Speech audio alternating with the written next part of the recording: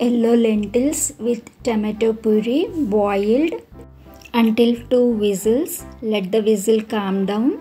Adding red chili powder, ginger powder.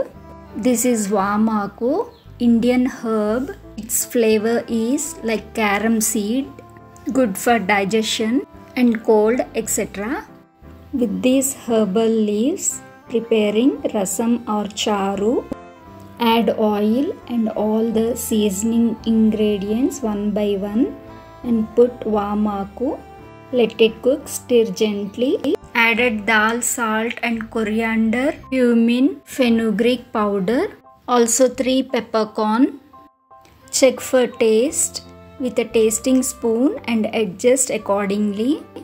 Enjoying with unique idli. Please subscribe and